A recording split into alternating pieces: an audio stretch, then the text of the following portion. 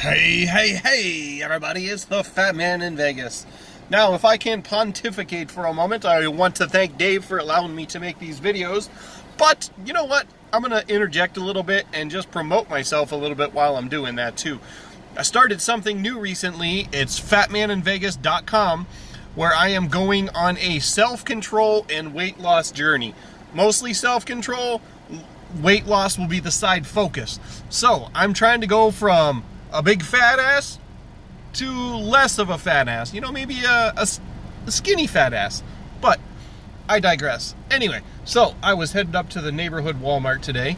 I uh, decided to get some Greek yogurt to take to work so that I wouldn't have to get any snacks. And then it hit me. Today is July 1st. Today is a special occasion that I have been waiting for for a long time. Two different things. Uh, one is the Cheeto chicken sandwich from KFC. So if everybody can see this, that's the Chester Cheetah Cheeto chicken sandwich from KFC. Yeah, I saw that a while ago, and it said it was coming out July 1st, and I was like, uh, there ain't no way I'm passing up on that. It's like the McRib sandwich. Every time it comes out, I have to eat somewhere between two and four, usually two the first day.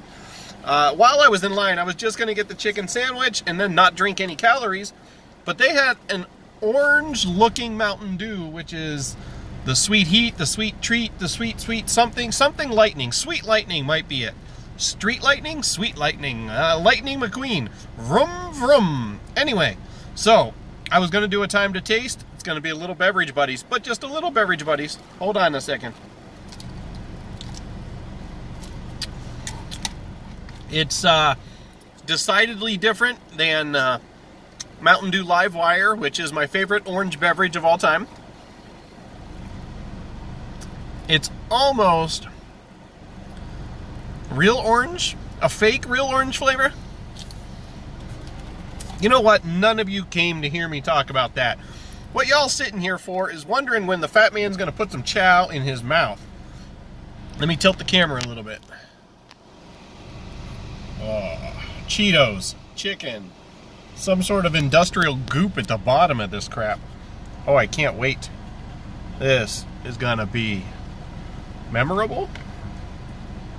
Uh, I wish that was hot sauce. Man, if they had a flaming hot version of this, I would have tried that instead. Anyway, ah, it's hard to keep it together. Mm. Down the hatch. If you're watching this on YouTube, I'm smearing Cheetos all over my face. Oh man. This is damn delicious. Keep watching.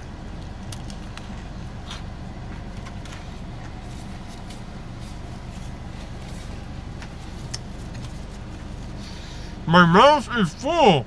It's I've a lot of stuff in there. Hi, Dave.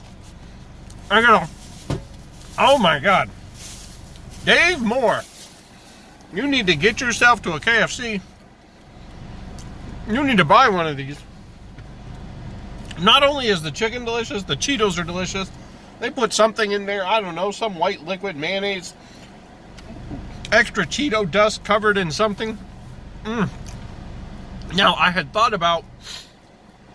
Whew, Lord Jesus, if you're up there listening to me, this is one of the greatest inventions ever.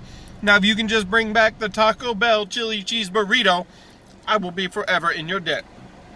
Uh, I was going to wait until I hit a certain milestone to eat one of these. I thought about it. I was like, maybe I should wait till I drop like 10, 15 pounds. And then I'm like, this is never going to taste better than it does at this very moment. So while I'm trying to lose weight, while I'm trying to not be a big fat ass, I'm also giving in to some temptations to continue to be myself. This sandwich, I'm going to have it when I drop 25 pounds if it's still around. But this is it. That's the last one. Right now, I'm good. I'm going to finish this. I'm going to feel really great about life. I'm going to go to work. I'm going to eat healthy the rest of the day, and I'm still going to show progress. Because I have found out that if I cut everything off cold turkey, I fail.